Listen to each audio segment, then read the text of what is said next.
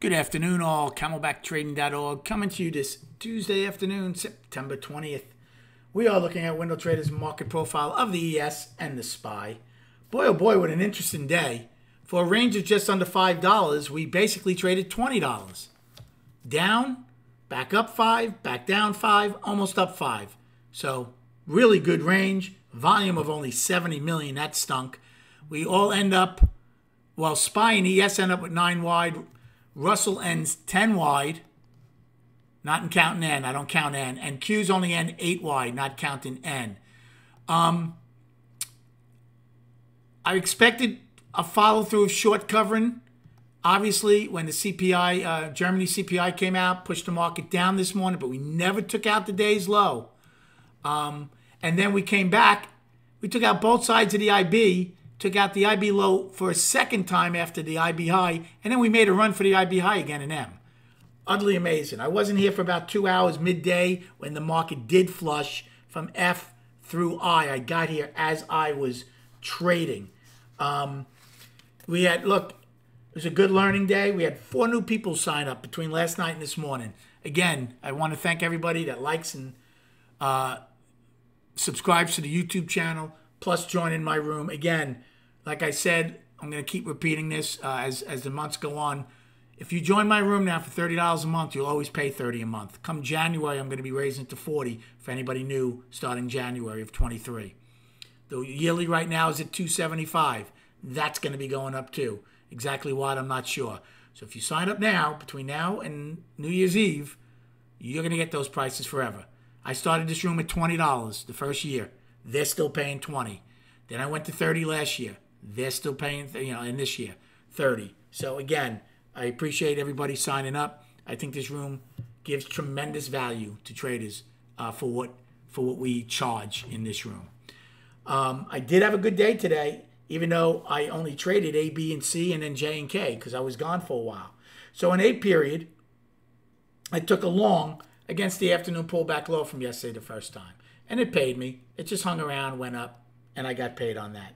Then in B period, when we started one time framing down, I didn't short B's low, but any push up, I shorted because the ebb and flow, the indices were down. We had the overnight low. Um, we were below the opening. So the sellers had control. So any push up, I was shorting in B. Did that a couple of times. Did the same thing in C.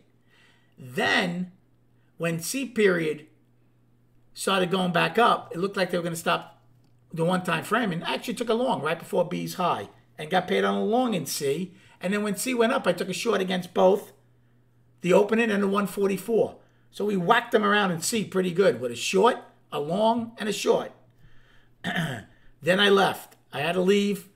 Well, I didn't leave right away, but D and F weren't really enticing me. I was tempted to short F.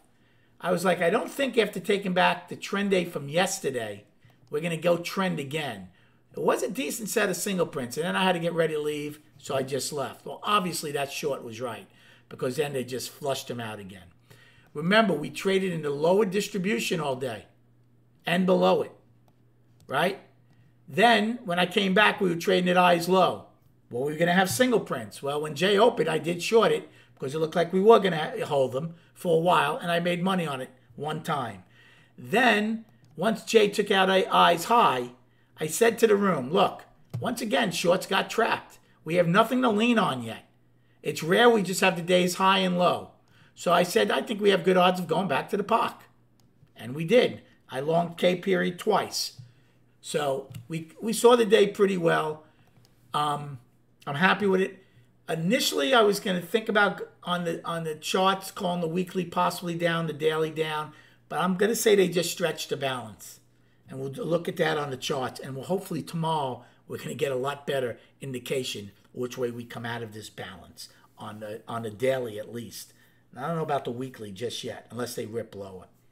As far as destinations, upside in SPY is today's high of 386.12, and then you should have the ones I gave yesterday. For the downside, nine wide, ease low of 384.22, today's low of 381.20. For the ES, the downside, 74 is 9 wide, 43.25 is your daily low. And for the upside, we have 93.25. Now, Let's just go to the charts to see what we could possibly expect tomorrow come 2 o'clock. So here's the weekly. We did take out last week's low by a dollar, but came back. So for now, for now, I'm calling it balance. We just stretched it. Now don't forget, it was an outside week down. Okay? So we did get a little distance so far from last week's low, but so far we're back in it. So I think tomorrow should give a pretty good indication. If tomorrow rallies, or by the end of the week we rally pretty good, well, then it's firmly a four week balance. But if they don't like what the Fed says and does, then by the end of the week, we're going to blow through this this three week balance and go down and have an uh, outside week down be successful. So that's why I'm giving it a little more time. Same with the daily. We took out yesterday's low by a dollar, but we came back in. I'm going to call it balance for now. So one of two things is going to happen. The Fed's going to disappoint, and we're going to have, remember, lower lows. Here's one, here's one. We would take this out and have another lower low.